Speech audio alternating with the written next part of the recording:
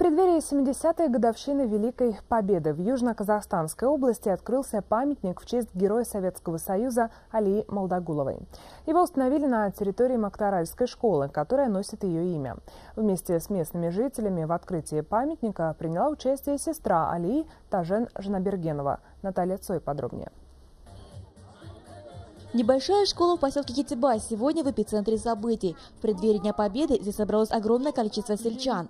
Повод для этого важный. В школе имени Героя Советского Союза Алии Молдогуловой установили памятник в ее честь. А рядом на мраморных плитах высечены имена 45 участников Великой Отечественной войны. Наш народ отдает дань уважения девушке, герою, защитникам Отечества. Поэтому подвиг наших соотечественников, проливавших кровь в годы войны, защищая Родину, никогда не будет забыт.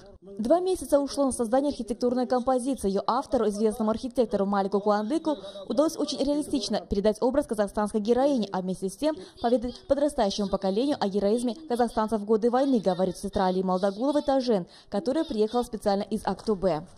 Олег как будто второй раз в моей жизни. Он живой. Это навечно живой, мне кажется. Я рад от раз я даже слова не могу найти. Еще раз спасибо. Низкий поклон всем жителям. Такой подарок преподнесли сельским школьникам и меценаты. Они же помогают решать и жилищные вопросы фронтовиков. Двух ветеранов выделили квартиры.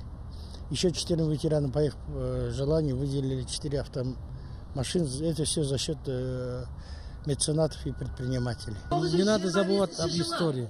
Если даже 70 лет прошло со дня окончания войны, но мы не, не должны забывать о трагедии этой войны. Такие мероприятия способствуют формированию патриотического воспитания для молодежи.